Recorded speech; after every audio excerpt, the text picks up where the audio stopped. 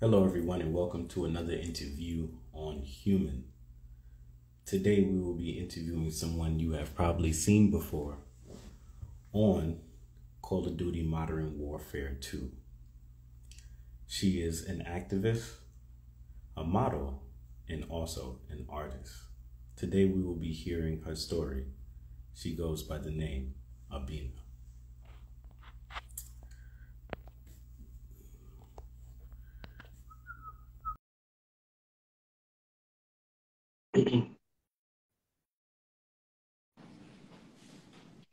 Hi. Hey, how you doing? Good. How are you? I am good. That was pretty quick. Um, uh, how is it over there um, in Colorado? I did interview somebody recently from Colorado. Um, it was a Um, great, great interview. It's Um, windy. um, it's it's a little chilly, but it's it's nice. nice, nice, nice. Is the sun out? I can see it reflecting off the side of your face, actually. The sun. Yes, the Yeah. sun. Is the sun or that like cool, cool, cool. Um, a little bit about myself. I'm Troy. I know that we didn't get a chance to speak previously. Uh, for all those that will be tuning in, I am the owner uh, of Human, uh, the multimedia platform where we interview people from around the world to hear their perspective. Right. So, uh, moving forward, I want to start off the interview by you introducing yourself uh, to the audience today for those who don't know. Um, hello, I'm Abena. I am a an artist, um, an activist, an educator. Um, yeah, that's who I am. Okay. Um, real quick, what do you educate people on? Uh, that aspect I overlooked. Sure. So I'm um, an adjunct professor. I teach photography at Colorado State University. Um, and I specifically work with ancient um, uh, photographic printing processes. So some of the first pro- photographic printing processes that were used before the darkroom. Wow. Nice, nice. Okay, thanks. It's cool. What is um I want to start off with how you were raised. Uh, I did uh, read your bio and get a hint that that you were is Irish. Your father was Irish American, and your mother was um uh, from Ghana. Am I correct? Yeah. Was it interesting being raised by parents from two different cultures, and what did that look like? Um, yeah, it was. It has been. Uh, still continues to be. Um, you know, a lot of the times when we were growing up, my I have two two younger brothers, um, and when we were growing up, our dad worked really hard to send us back to Ghana, and that was something that we would have um, the opportunity to learn culture um, from a firsthand experience, and um, my mom is from Winneba, and um, it's it's uh, outside of Cape Coast, uh, which is a small. It, it was a small village, but now it's it's uh, a city because it's got a university now. It's a, a technical college. Um, and so yeah, um, growing up, you know, like my, my brothers and I didn't really work really hard to um, understand our culture because of you know Western civilization and whatnot. Um, and um, growing up in Colorado, you know, like um, everyone was. Uh, it's now starting to become more embracing of yourself, you know, in the world. And I think that having that platform, I think, has been something that's been wonderful for a lot of people who are mixed cultures. Um, Mhm. and growing up now, you know, like I think we're all still growing. I think we're also like becoming older in a sense, you know, we're all growing. Um, and I've been working really hard to understand my culture. So um, Abena is my middle name, which is it means Tuesday born um, from the Fante tribe, which is where my mom is from. And so, you know, like Jasmine is my, you know, educator name, and so my students call me Jasmine, and my I, I like to use my artistic name as Abena because it's like free to express. It's you know like like a Nan name, and um, my ability to you know, create. Nice. What is uh, one thing about the culture of Ghana that you can uh, teach us here today in this interview that most people may not know about? um, Ghanaian culture is vibrant. Um, there's a lot of uh, laughter, and a lot of people are energetic. Um, food is is really um, a really popular thing that is celebrated. Um, so like people like to drink um, spirits, you know, like beers and and um, akpeteshie, which is like this fermented palm wine, um, and it's it's normally like mostly celebrated and drank by men, um, but it's uh, quite spiritual in a sense. But it's it's a nice drink, you know, kind of puts hair on your chest in a sense. Um, but it's it's like tequila, but it's um, yeah, that that's something. Um, but you know, before um, like okay, so during the Atlantic slave trade, for instance, people were actually traded for objects, um, and so like some some of the things were like um, spirits, so like alcoholic beverages, um, and then it became you know like some muskets and, and whatnot. And then it started to become uh, cowrie shells, and then cowrie shells were used as a form of currency. But there's been multiple different forms of um, monetary systems that have been used, and it has um, been documented that cowrie shells were um, used as one of the primary monetary systems. Continue. Um, well, hold please. no problem.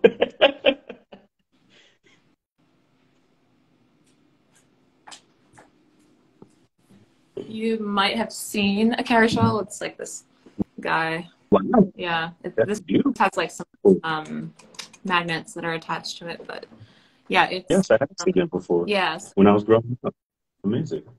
Yeah, and so it's huge in in um, African American culture, and um, most people don't know that's what's the that's part of the history of the Atlantic slave trade.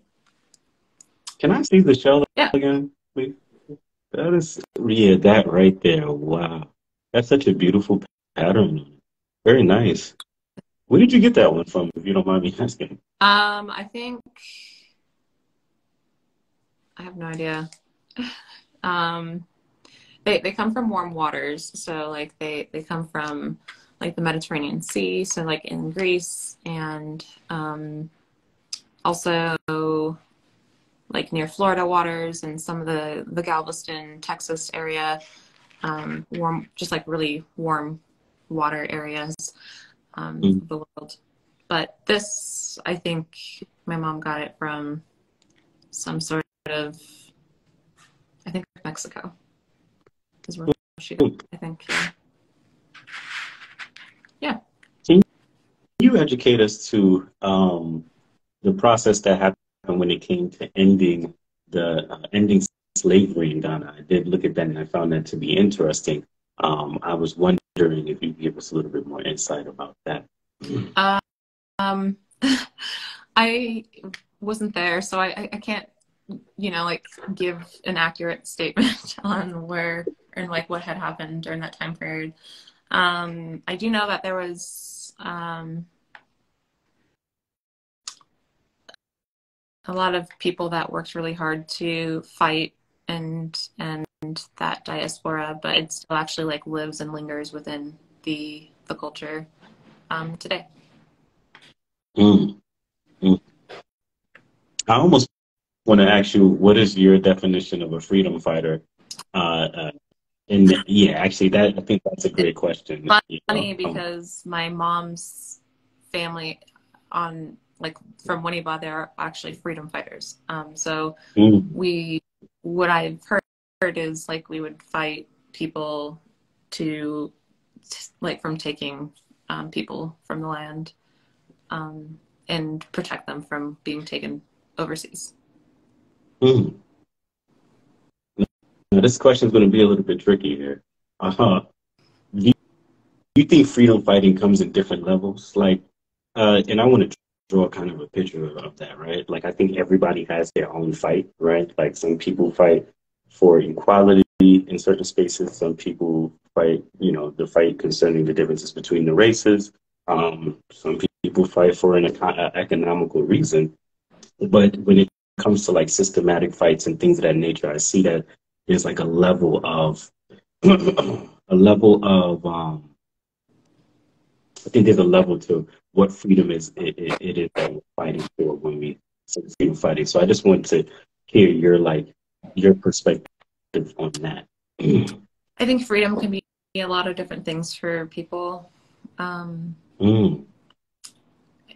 Know, I, I think that there's a freedom, like I was a slave to my skin for a long period of time, um, like wanting to hold back on, you know, like embracing my spots. And then it became something like a way of living, like a mindset, you know, like um, about embracing yourself and being comfortable with who you are. Um, and I think a lot of it, a lot of things with the world has to do with our skin color or things that are based around skin color or skin tonality. And um, as we evolve as humans, I think that that this should be something um, more worth the fight in a sense to fight for people to have you know equality and you know um, equity and to be included in certain circumstances and to be thought of or considered um, versus you know like scouting out somebody who doesn't represent the same um, image in a sense. Mm. i like the way that you said that freedom could mean different things to different people you know? Yeah. It can you know? It's very deep. I, I I actually want to take a little bit of time to reflect on that because I'm like, it's true. Like, um, I think the freedom that uh, I, I, I fight for is to under is to gain understanding between uh, everyone. You know, um, especially because I constantly see uh, a rise in t- technology uh, that's putting us back. That's you know, if we're not careful, would could set us back. Um, and so I do want us to kind of.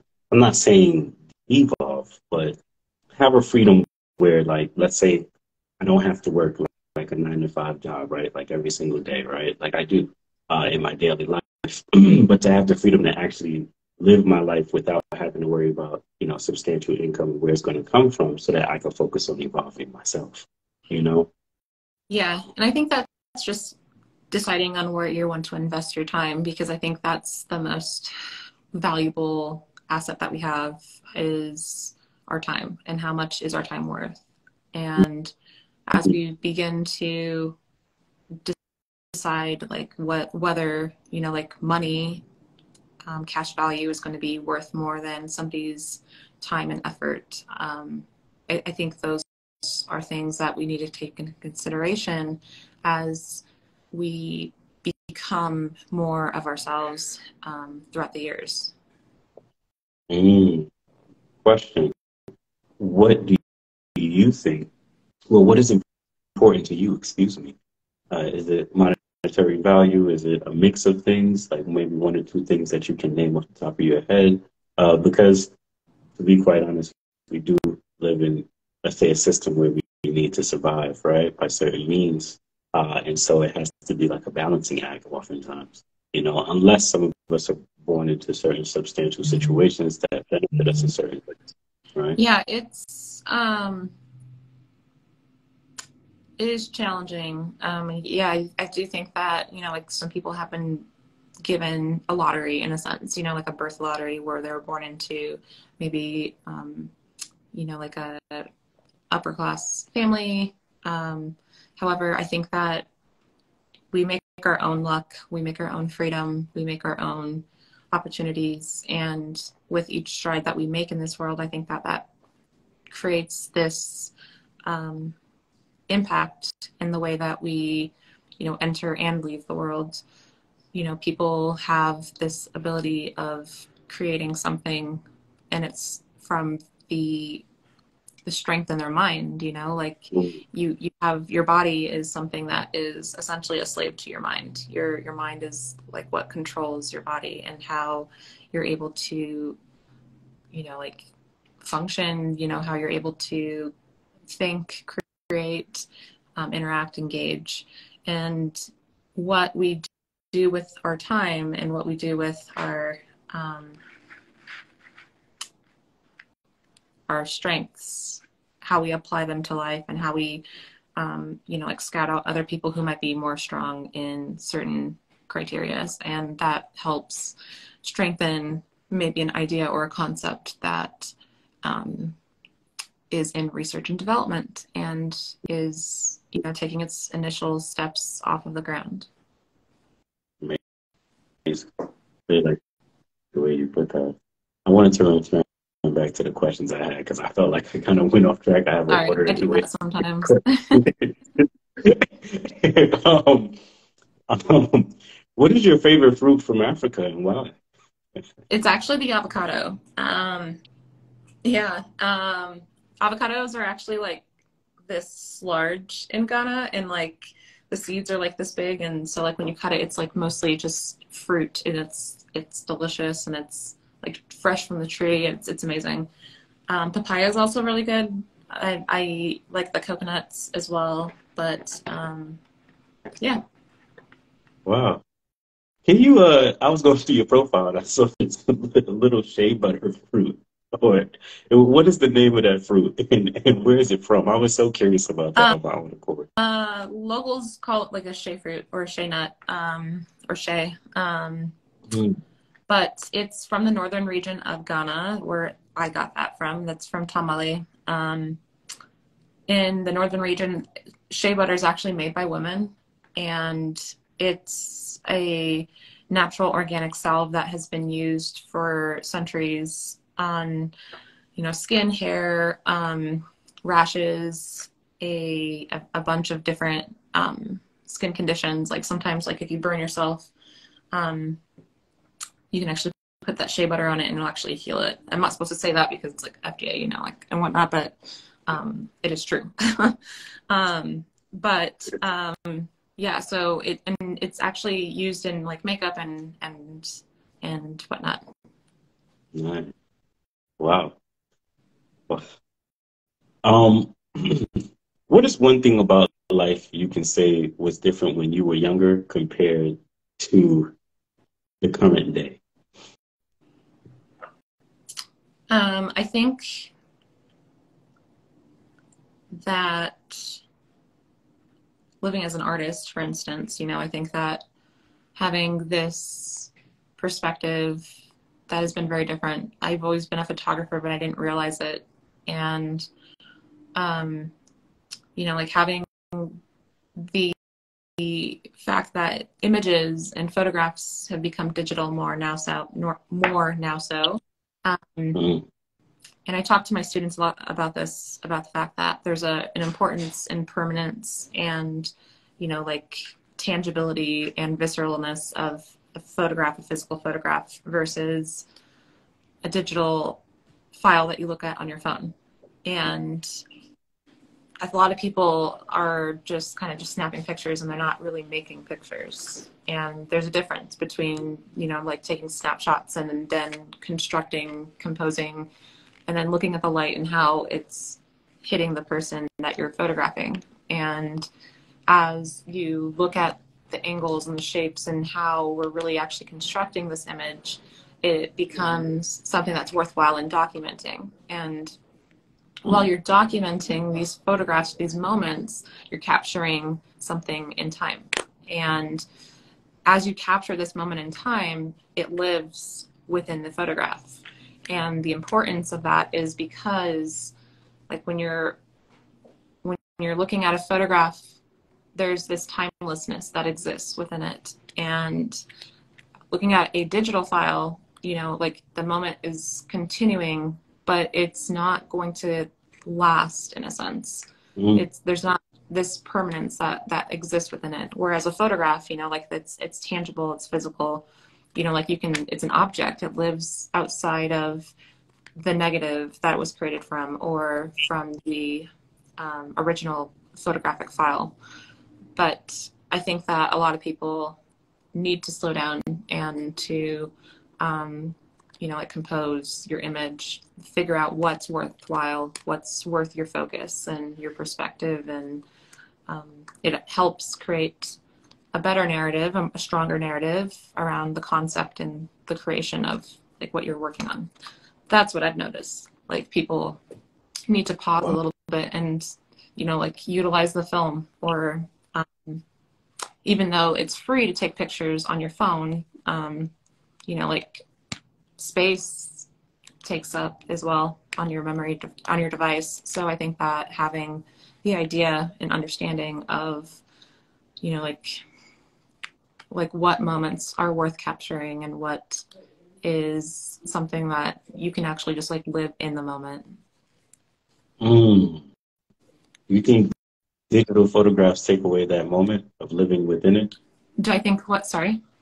Do you think that digital, the process of digital photographing things digitally takes away from living within the moment because everybody's trying to possibly keep up with friends or just I want this for the gram. Yeah. it's oftentimes. And, so.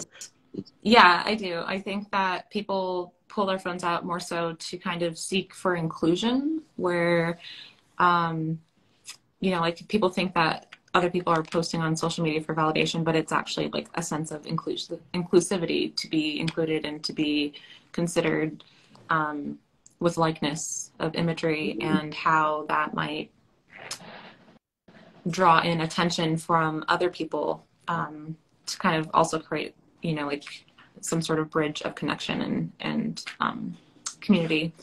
Um, photography is something that actually creates, I think, community. And today's actually the last day of like month of photography. It's it's the the whole month of March is the month of photography. But um, yeah, so I think that yeah.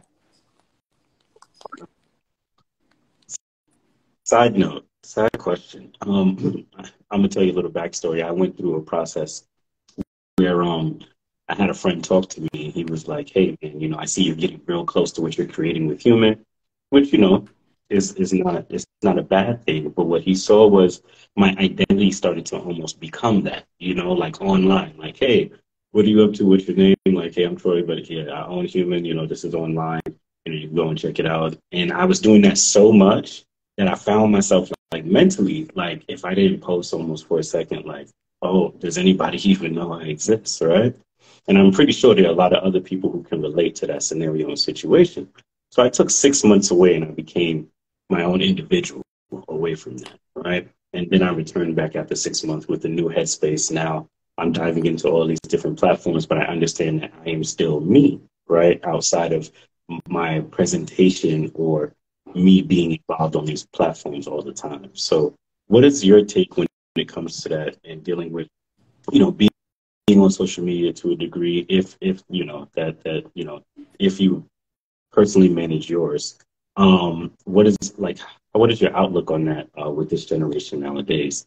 Because uh, everybody seems like they're rushing to be seen. Yeah, and it, it's like not everything deserves a response, and that's something that I'm also like really working on as well. Um, and you know, like social media is something I think that can bring us together, but it also can tear us apart, um, just like anything else in the world. Um, and I think that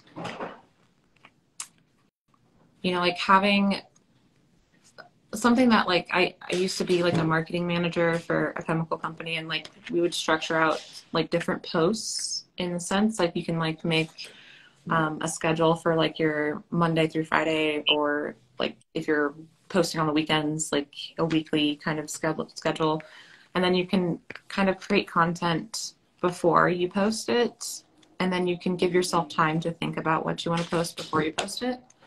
Um, and then that also kind of helps you found like concrete and um, fa- finalized essentially like foundational words that you are intending to say versus things that might be said in the heat of the moment and mm-hmm. um, that, that, also might help prevent um, other anxieties that might, you know, like live and exist within, um, you know, putting yourself out there on social media.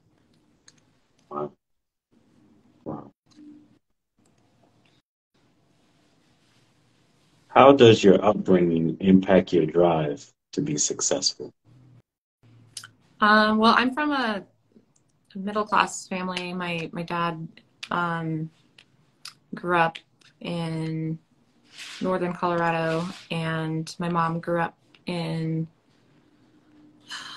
It was I don't think it was a village then, but like she grew up in a small town in, in West Africa. So, um, you know, like my parents didn't have a lot when they were um, starting, but they've grown into a lot of different um, areas in life. So I think having two foundational mentors and, um, you know, guides, if you will, that can help kind of steer me in a way that would be you know, show me that I can build character and still be the same person that I was when I was younger, but, you know, like more mature, more developed, more e- evolved into somebody who can um, put their mindset and work towards the things that they, they want to achieve in life.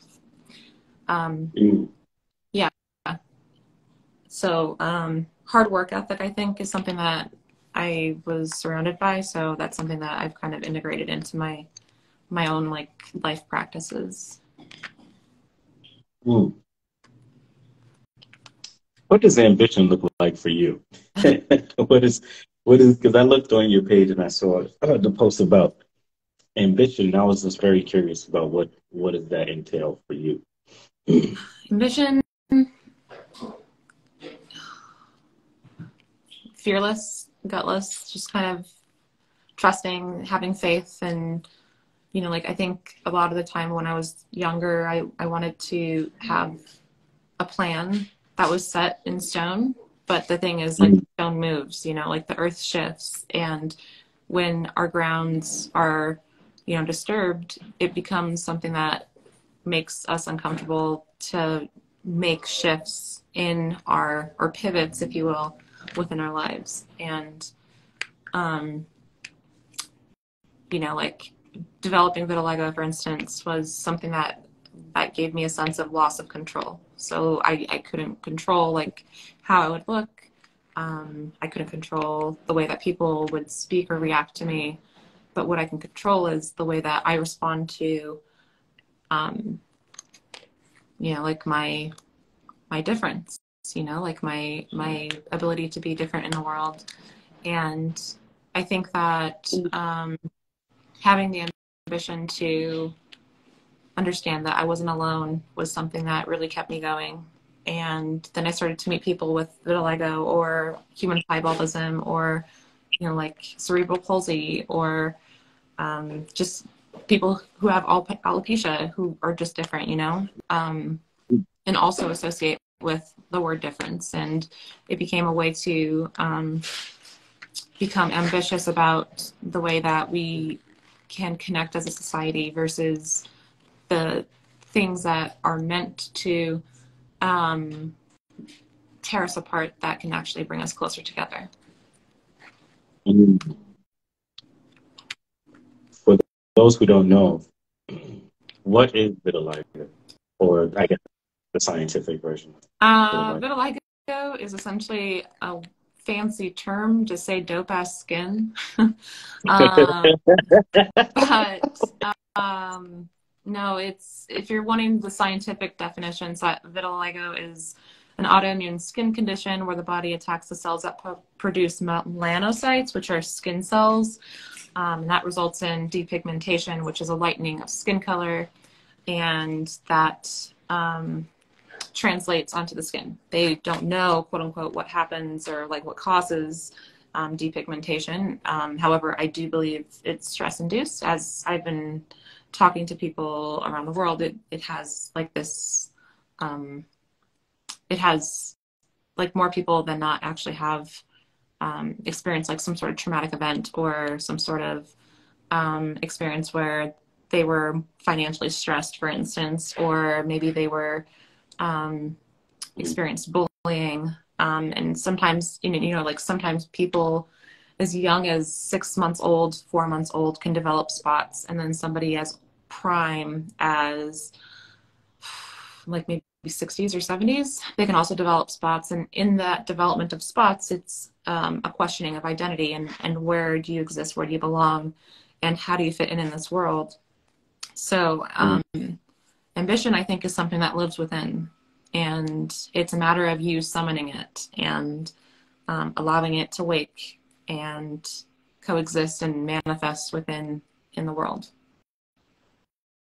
I really like the way you tied that in together. That was cool. You're welcome. No problem. Um, how did how did you eventually? Because this is uh, definitely a test of the mind, right? Like, well, first let me ask the questions in order. When did you find out, or when did you start to notice? Excuse me, that you had vitiligo, and what was that impact like? And then how did you mentally work your way through that to where you're at now because you're like extremely strong, you know, pushing forward. I know we all have our ups and downs, but Thank you. I appreciate that. It's not easy, you know. I think everything um, takes time and practice. Mm-hmm. Um, when I was first developing my spots, I was about 21 years old, and um, I have had friends that have gone with me to, you know, like treatments so that I can repigment the cells that have depigmented or, um, you know, like go through a process of changing or trying to alter my identity of who I'm supposed to be. Um, now, it, it, hasn't been an easy journey. I think everyone's journey is a little bit different than the, the next person. Everyone has something that, you know, like they're, they may be insecure about. Um, vitiligo is something that I'm finally proud of, and it really it's a blessing in disguise. That's one of my friends has told me that before. Um, but you know, I think it took a lot of self work and a lot of reflecting on like myself and how I want to identify. And you know, like I have even still to this day, I have like identity questions about you know like who i am who am i and how do i exist and live within this world and um you know like i think having photography as a tool has been something that has been very therapeutic. You know like when i first developed spots i was taking and documenting pictures of myself and um, documenting the transitional you know drastic drastic change you know like in in depigmenting and losing skin color and losing sense of identity. And then I was able to also then like kind of journal and jot ideas and thoughts about this process of being able to have no control of the way that I look. And in throughout years, you know, like I started to meet people with vitiligo and start to document people with vitiligo and hear their story and their journey. And it became this coexisting cohort, if you will, of the ability to show that you know like even though skin colors might be different um you know like we all share skin. We all have that same thing in common. It's it's something that protects our internal organs. It's something that is our barrier from the external world. It's it's something that we all have to protect. You know no matter your skin shade or your color you have to wear sunscreen you know like um you know like even though people who have like richer skin tones um, i've seen a baby in africa who had been sunburned by the sun because he was on his mom's back while she was selling fish in the market you know um, it, it's it's something that i think a lot of people neglect and take for for granted um, is our skin yeah indeed it's funny that we at times take it for granted, and it's oftentimes one of the greater issues in our existence, right? Yes. um, uh, moving forward, what was um, what was your process of self acceptance? I, like I said, I was scanning, you know, through your Instagram page, and I saw that you was in the People magazine. Um, and one of the titles did address the fact of uh, self acceptance, which I thought is a big, big thing yeah, for everyone across the board, no matter what you look like, who you are. Um, there has to be that bridge where you learn how to accept yourself wholeheartedly. I think self acceptance can actually look like many different things. You know, like self acceptance can look like accepting the fact that you have vitiligo and um, going through the process of going to a dermatologist. Um, it can also look like looking at yourself in the mirror and telling yourself that you're beautiful and putting on makeup, maybe to cover up, maybe to accentuate. I, I think that um, there are a variety of different layers that exist or manifest within the that that whole sentence. I lost my, yeah, my bad. No, it's no, no, problem. I have to still accept that I'm short, right? At the end of the day. So, you know, I, I go through my own journey of self acceptance uh, in my life too, especially when it comes to my flaws and battling perfectionism uh, as a creator. Yeah, and I think as we're trying to accept ourselves, we're sometimes we actually might be easier on people next to us than we are on ourselves. And, um, you know, like, I think that working on being kinder to ourselves, I think, is something that is a very important part of the practice in self acceptance. And, like, being, you know, a little bit more gentle with yourself, you know, like, you're not perfect, like, nobody's perfect. Um, and I was a gymnastics coach for you know like 13 years, and um, nobody's perfect. You know, no, nothing's perfect. But you know, like I think that we have the the ability to change our focus and and shift our perspective on what is um, beauty and like what is what is something that is worth accepting. And I think that once we begin to accept ourselves, we'll begin to accept other people for being different. And in that mm-hmm. process, it creates this inevitable interwoven blanket, if you will, that we desperately need in this country. Um, you know, for people to come together and, and to be kind to each other and to um, really show empath and that ability to connect with others, I think would be something that will um, strengthen our our community and our world.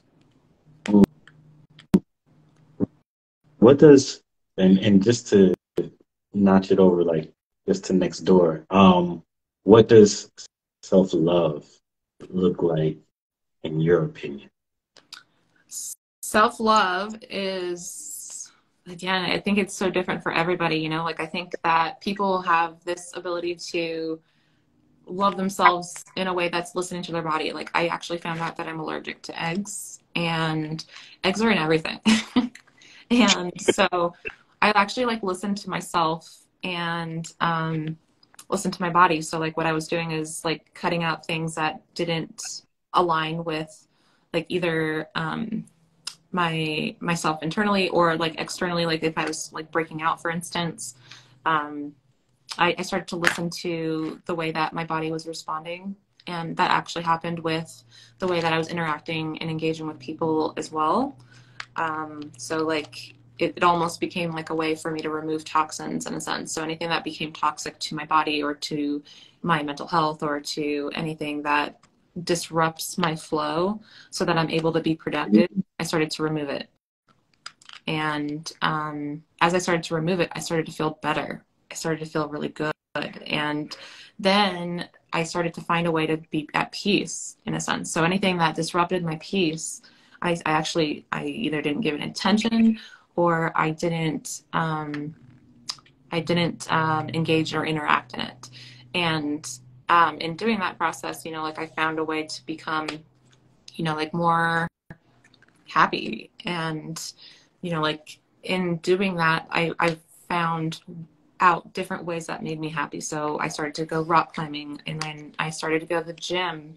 I go to the gym like maybe for 30 minutes every single day and it's you know, like it's not much, but it adds up and it really does like help and it gets you into like a kind of a routine and a mindset that helps you um, you know like want to feel good about yourself. So then i start eating healthier and then i start drinking more water and then you know i start getting into this mindset where i'm in a better place you know like i'm just like you know like oh i i am starting my day off with positivity. I'm i'm grateful for waking up. I'm i'm grateful for this instead of like oh i have to go to work you know like I have to go and do this. But it's it's something that like i think that starts with just like maybe even like a walk in the morning or stretching, you know, like mm-hmm. drinking some water before you go to bed or um, writing a journal or, you know, like cutting out people who are toxic or cutting out, yeah, setting healthy, healthy boundaries and, and is, is definitely a form of self-care.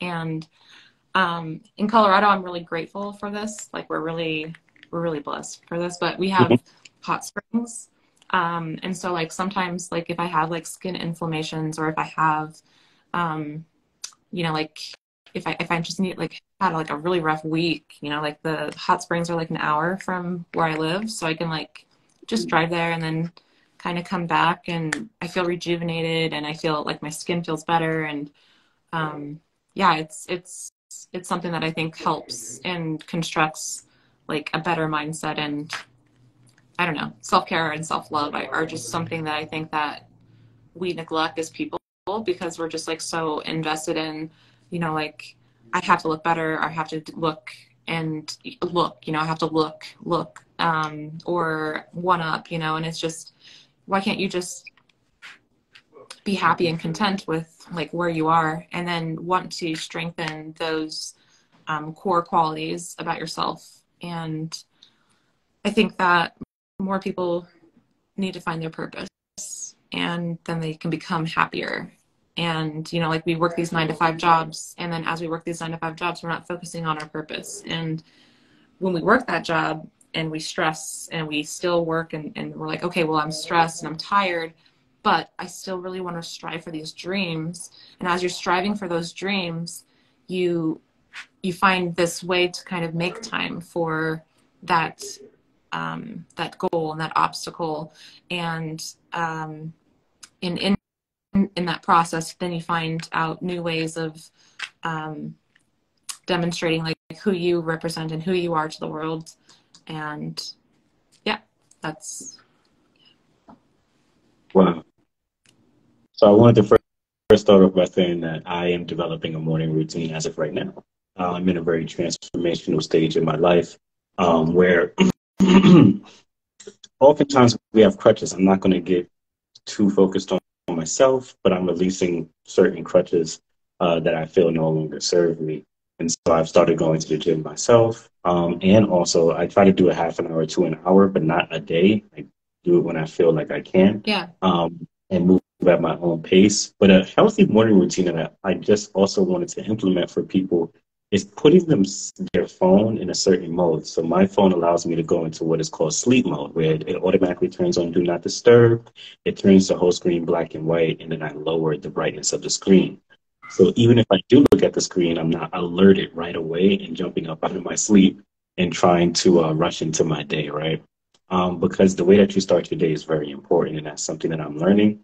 I have not mastered it at all. I'm not perfect at it. I'm just going to go ahead and say that, you know, for everybody who's watching but it is something that's worth giving a try and you'll see how it changes and reshapes the way that your day flows, you know, moving forward. Uh, wonderfully said, I mean, the hot springs sounds great. Oh, yeah, it's, yeah, it's life changing. Um, and you, you've like seen like those like little monkeys like in like the hot water and they're just like, ooh, like, you, yeah, it's just like that, you know, like it's so amazing, especially like when it's snowing, you know, it's, probably like my favorite. Um, oh, I wanted to ask you your trips to Africa. Before we continue, we're going to get back into Africa later on the interview. I do have some more questions uh, regarding that to a degree. But how was it? Like, please explain to the audience, but those who have never been uh, to Africa, how was the journey? It's home for me. You know, like it's it's somewhere like we've been going since we were younger, but like um, I brought people there before, and I want to kind of create like this return project that would bring people back. And um, I think that it's it's um, it, it fulfills the soul. It it um, nurtures a like your internal connection to the to life in a sense. It's it's the motherland. Nice. Wow. Well, what is one thing about Africa that people don't know that is positive? I think we see a lot of images on the screen uh, of this real, like I feel like downside, if you ask me, uh, of uh, of Africa. Um, you know, children in need. I know that's that's you know definitely a thing in certain places in Africa, but I also have heard of its richness, but I have never really seen as much of that advertised uh, here. Yeah, that's unfortunate because the richness actually exists within the land and mm. the people and the culture and the um, the traditions. You know, I think that a lot of people associate you know Africa as like one large country, but it's multiple different countries on one large continent, and um, you know um, each culture, each tribe you know like there's so many different dialects that exist within you know like one tradition or that for instance like um has like Twi and it has um winnebarian and it has a whole variety of different um tones if you will of the way that people communicate and respond and um and and practice tradition. Um like another like one thing that is a downfall is i think that like people need to come together. I think that a lot of people in africa ghana like i speak on behalf of ghanaians but not i'm not actually like i'm not born in ghana. I was born in the states so um which is a different conversation because like i actually would have been born in ghana if if like today was then but it's another conversation but um mm. the uh the thing is like the land in Africa and in Ghana, like it just has so much richness in in like soil and in um, resources and um, you know I, I think that is something that is a downside because I think that people don't think of Africa as rich, but it is it's pretty rich. You know, like it has a lot of vibrancy and it has a lot of um, culture that are are very very much um, alive. You know, like um, timber is a huge um, uh, resource that comes from Africa. Um, you know, uh, chocolate, cocoa, um, gold. You know, shea butter, fish. You know, all of these things that are like kind of like taken in neo.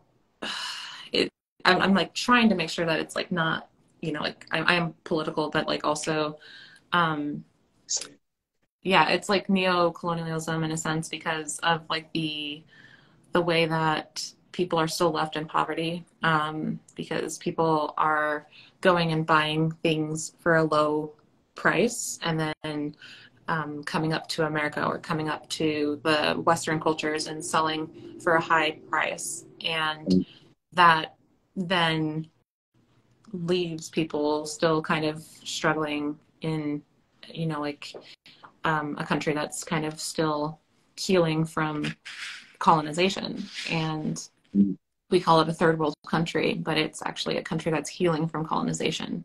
And um, as we begin to evolve our way of thinking and evolve the way that we kind of interact and engage with others and you know like different countries you know like we're all trying to make it we're all trying to um you know like have this niche, figure out this niche that we belong in in the world. And um, in doing this, like we come up and come across different communities and cultures that we can actually integrate into our own practices and into our own lifestyles that really truly become um, impacting and important and life changing.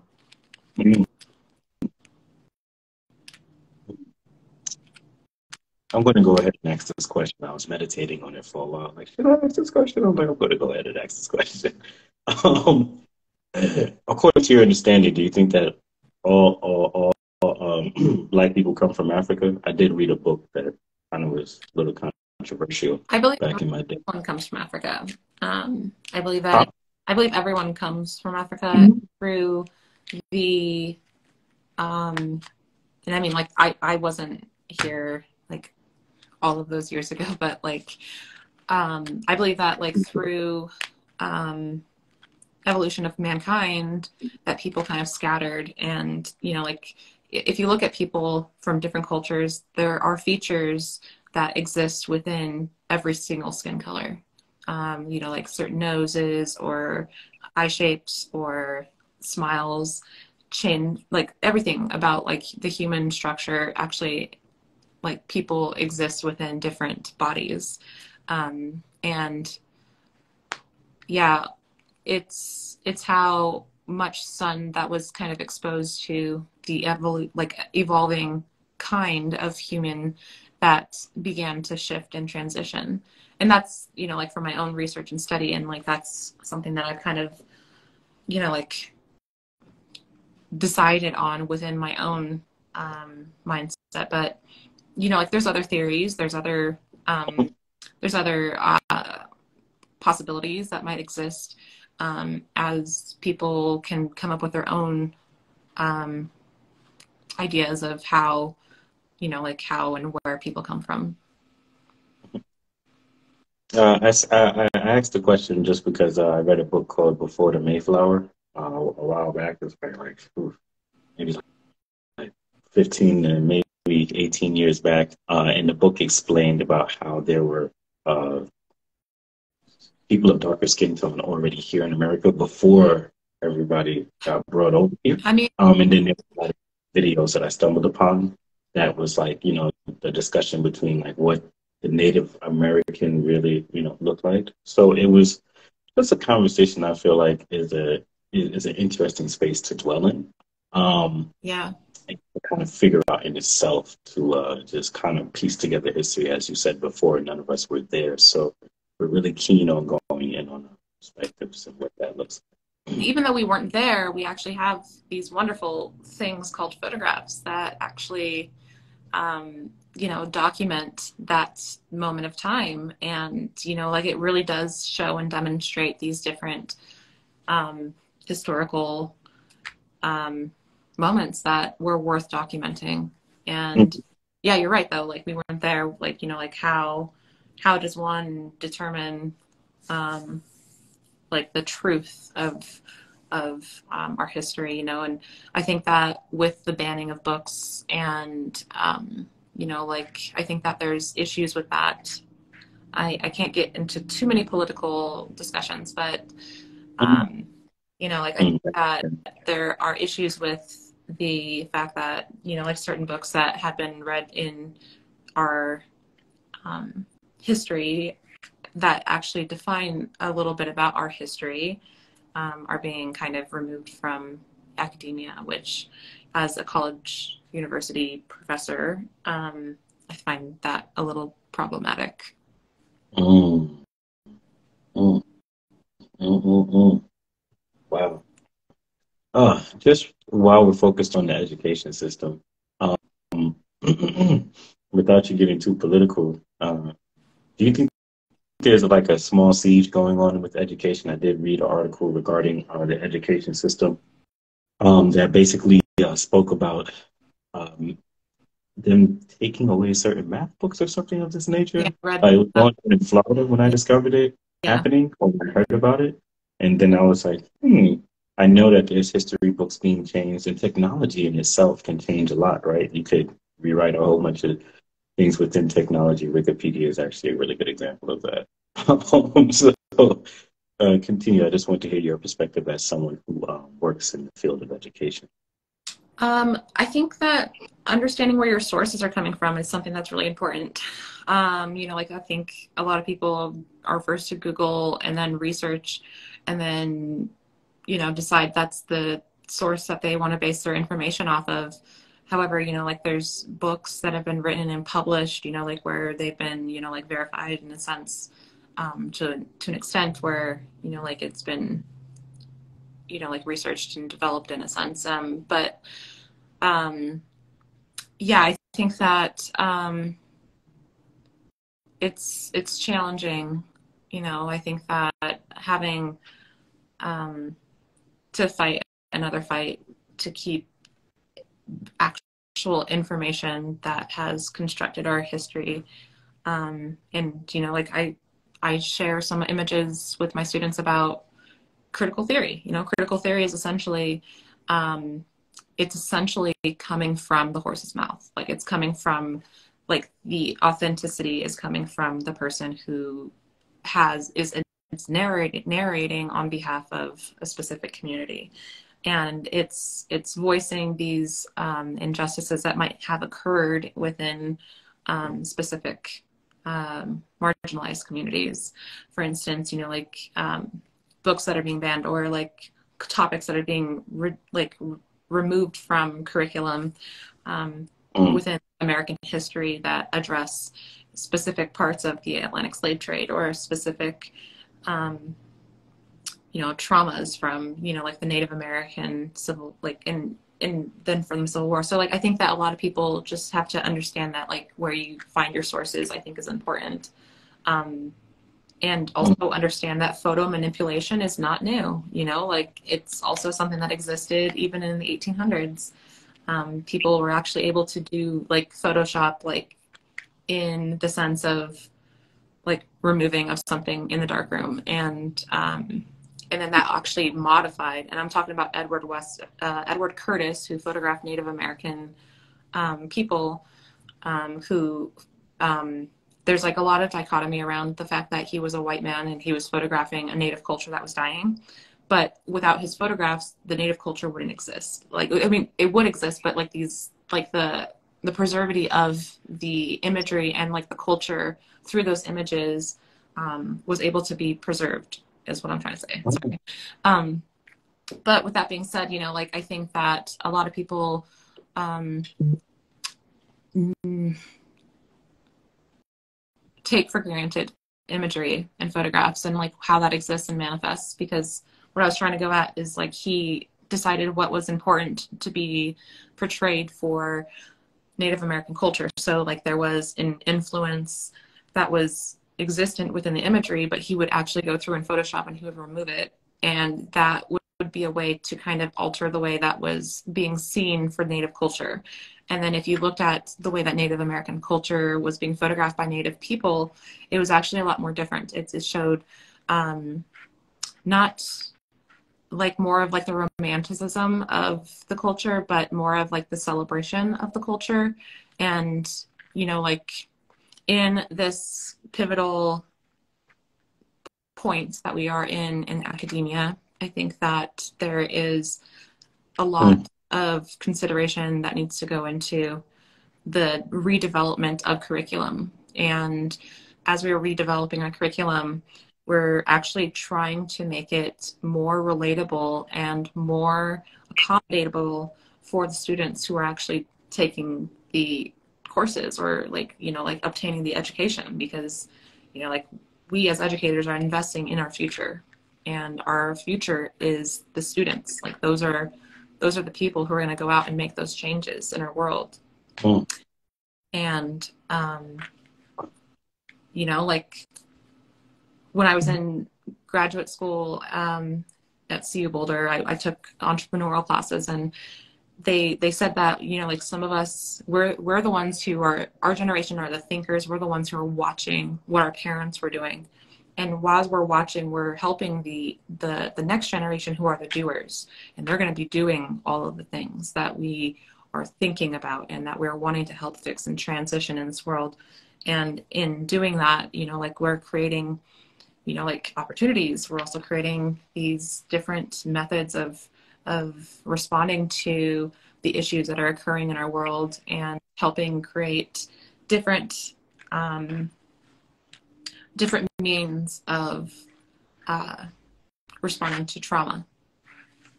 Mm. Mm. So I so two questions come to mind. One is they were really photoshopping photos from yeah, it's, it's a thing. Yeah.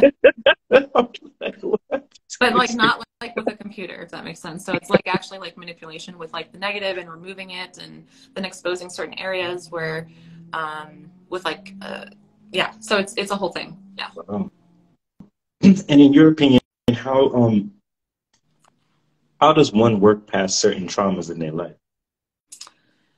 everyone's at a different point of healing you know like i think healing is like kind of like essentially like where we're kind of trying to become fluid in our interweaving of life practices mm-hmm.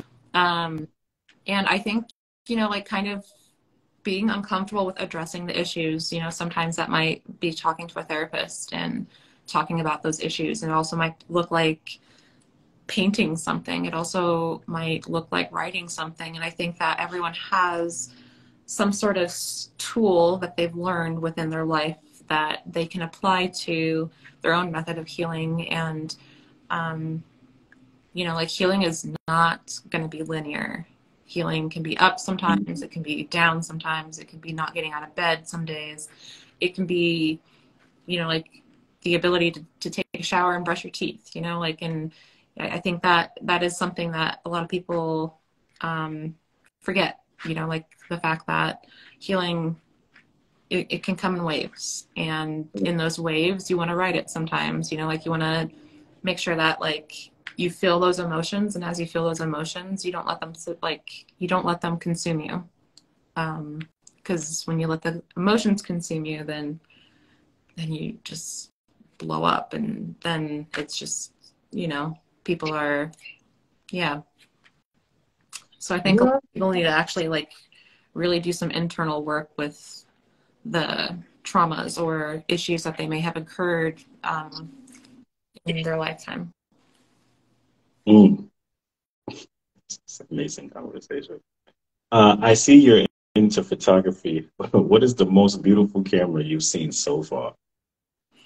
Well, um, there have been some really amazing cameras that people have built themselves. Um, like, so you can actually make a camera with a box, like a cereal box, and just a little bit of aluminum foil and some tape, um, for instance. But there have been some lenses that people have, and um, they welded it to something that they built this box, and then it became like this, like 16 by 20 large format camera and um, it, it, prints film and then from the film or not film but like you put black and white paper in there and then you expose the photograph and then it actually becomes a negative and from that negative then you can create a positive. But it's pretty amazing to see like the fact that this large quality photograph was being able to be made from you know like this huge camera um 16 by 20 and it's like completely analog so it, there's there's nothing digital except for like after it's been made you can actually then take uh, um, your phone and then you can actually like scan it and then it will turn into a positive which is kind of cool wow mm-hmm. wow um, um, matter of fact when you're when you're uh, taking a photo what is what is the feeling that comes comes over you when you're looking through the lens at the at the person you're about to take the photo of. Um, like what is that? What is that special aspect of doing photography that really captivated you? You know, I when I started photographing, I was developing my spots, but I also um, was photographing my brothers wrestling. Um, they're they're both high school wrestlers. One of them went to college to wrestle, and one of them's an MMA fighter now.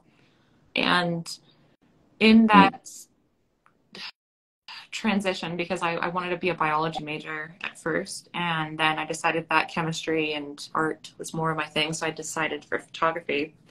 And I loved the chemical component, the fact that you have um, this freedom to create something through light and chemicals, and the response from that is art. And um, I really loved the fact that I was able to kind of document my brothers in capture a moment in time that would never be able to be relived again. Mm. Um, you know, like kind of documenting their wrestling matches and then sharing the pictures with them, and they would get excited, and you know, it, it just became like this whole um, excitement of being able to kind of share something with them and to relate with them um, through something that I could do, which was just photographs. Wow. Amazing. When did you start modeling, by the way? I just I didn't want to shift over a little bit into the career that uh, I've seen. Um, yeah, you made a really great career out of that. I will admit. Thank you. I appreciate that. Um, I actually used to model when I was younger. Um, like one of my first modeling sh- gigs was for a church for my neighbor. Um, and I was like maybe like seven or six. Um, and my dad would like was not about it. Um, and um, so I didn't model again for like another 10 years. And then when I graduated high school and I was in college, I, I then started to model, but then I developed vitiligo and then I stopped and then Chantelle mm. Winnie came out and then um, and then I, I um, went to graduate school and then decided like what I wanted to do with my life and some photographers started to text me or you know like uh, uh like via like you know DMs on on Instagram and say hey you know like I would like to photograph you and then it kind of pulled me into um, the understanding that there's beauty in everything. Um, how did you how did you turn ooh, how did you turn the tables in your favor when it came to modeling with vitiligo? I think that is an amazing journey in itself. um I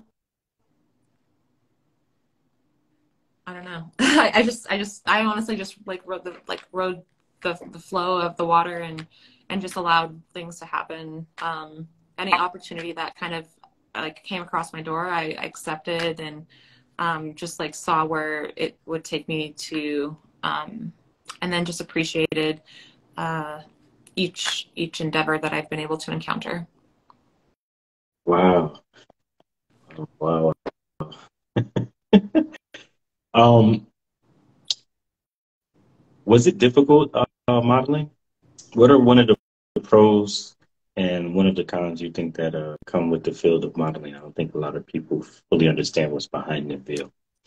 So, being somebody who works in both in front and behind the camera, um, it's it's hard as a model to not understand like what the vision is from the photographer. So, like if the photographer has doesn't have an idea and they just start start taking pictures and then this conversation between you and the, the photographer is quiet then it kind of becomes like this awkward like i don't know if i'm doing a crappy job i don't know if i'm doing a good job like and then it kind of helps um like a conversation i think like as the photographer i'd be like you know like i, I like the way that the light hits your face in this angle for instance so can you move your face this way?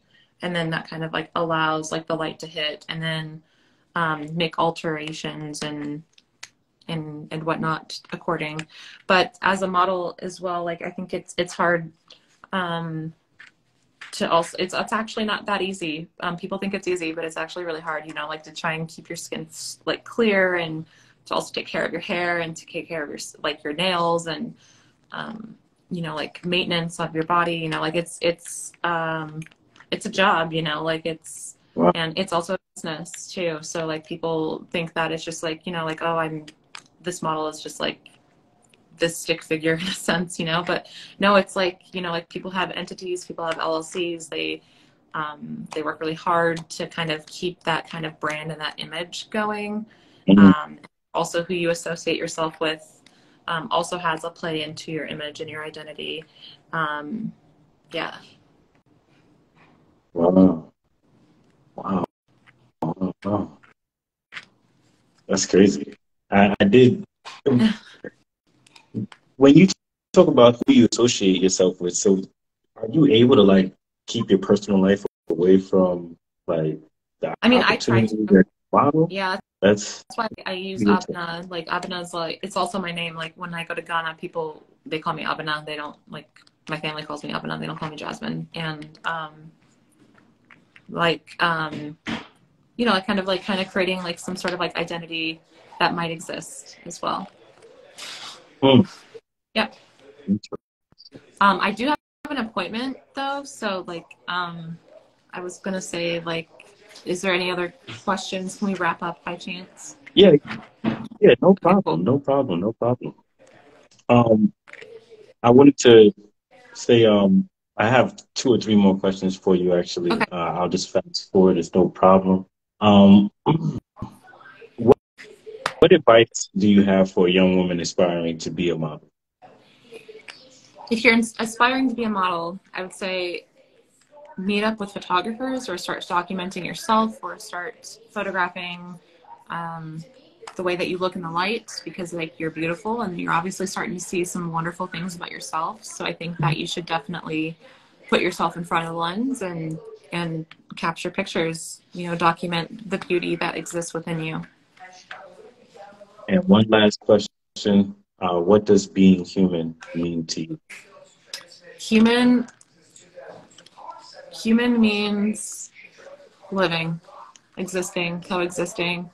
Um, you know, like in this moment of living, you know, I think that we need to address how we can protect each other in times that are a little challenging.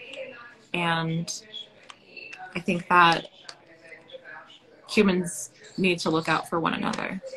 I mean, if animals can do it, why can't us? Like, why can't we? Yes, indeed. Yes, indeed. I want to say thank you for your time today, Abina. Um, uh, Abina, right? Excuse me. I want. I want to Yeah. say Abina. So like Okay, Abena is Tuesday born for a female, and then Kwabena is is Tuesday born for a male. And then so each day of the week has like their own thing. So like there's Kojo, like you might have heard Kujo, but it's like Kojo is how it's pronounced. Um, and um, and uh, Adwoa is is the female version. And then there's Kweku, like I don't know if you've heard of Kweku Anansi, which was like a spider. Um, and there's also Akua, which is Wednesday female born. So there's just different um and Kwame, that's my my my youngest brother's name is Kwame and that's Saturday born. And so every every day of the week has a different meaning. Nice. Thank you for Thank that you. information. I appreciate you. Appreciate you. You're very welcome. Um, oh, please let them know where they can find you at, by the way. Um, uh, yeah, please. It would be great. Um, what they can find you on. Oh, and one last, just one last question before I go. How was it being on Call of Duty Modern Warfare 2? How was that I'm experience? gonna lie, the people from Call of Duty are just the nicest people I've ever met. Like they're um, they're so kind and they're so um, supportive, and I've been very grateful to have met them and to be able to work with them. It's it's so cool how it's all very very different. Like you know, like being somebody who's an artist and um, working with people who are um, you know like this like a a, a game, you know, like a pretty violent video game, but it's it's also um, it's been a wonderful opportunity to meet like really wonderful people. Amazing. Amazing. Well, yes, please let everyone know where they can find you at. Um, uh, and if you have any closing remarks, and I want to say thank you once again.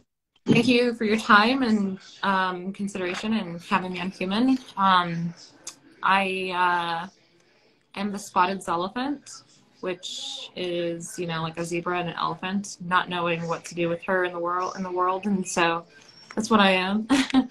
um, and yeah, I appreciate your time and, and um, effort in putting this together, and I hope that you have a wonderful weekend. Thank you. Appreciate it. Appreciate Have a good one. Have a good one. Peace.